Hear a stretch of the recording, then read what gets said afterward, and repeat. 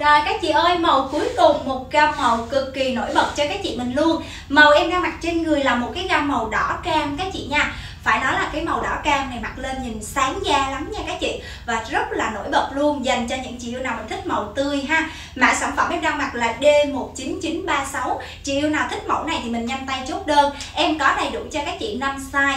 Size M, size L, size XL, 2X và size 3X các chị ha. Dao động cho tất cả các chị yêu từ khoảng tầm là 45 tới 75 kg số đo vòng eo tối đa cho em tới khoảng tầm là 96 là các chị sẽ mặc vừa dùm em nha. Chất liệu này thì nó không có quá là co giãn nên là các chị cứ lấy chuẩn size cho em là mình mặc ok và thoải mái. Chất liệu của đầm là mềm, mịn mát nha. Vải là vải lụa tầm ý dùm em. Gam màu đỏ cam mặc lên nổi bật, mặc dù là màu tươi. Nhưng mà riêng em thì em thấy là cái màu này các chị mặc lên nhìn sang lắm luôn á. Nếu mà các chị mình đi đám cưới nè, hoặc là các chị mình đi những cái chương trình tiệc tùng mà các chị muốn nổi bật thì các chị chọn ngay trên cái tông màu này ha. Rồi em xoay phía trước và phía sau cho các chị mình xem.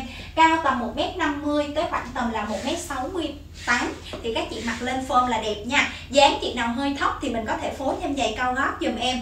Còn chị nào mình dáng đã cao rồi thì mình có thể là mang giày vừa cho em là ok. Dáng hơi thấp thì mình có thể lên like nha. Tùy theo chiều cao mỗi chị mình mặc lên cái phần tà nó sẽ dài ngắn khác nhau. Nhưng mà bên em may thường là cái phần tà bên em sẽ may trừ hao cho mình luôn. Chắc chắn là các chị nhà mình mặc sẽ không có bị ngắn đâu. Còn hơi dài mình cắt lên không có vấn đề gì hết. Nó sẽ không ảnh hưởng tới form của áo dài các chị ha. Riêng cái phần eo này bên em sẽ làm eo cao nè nên dáng các chị thấp các chị mặc lên form vẫn đẹp nha. Rồi các chị nhìn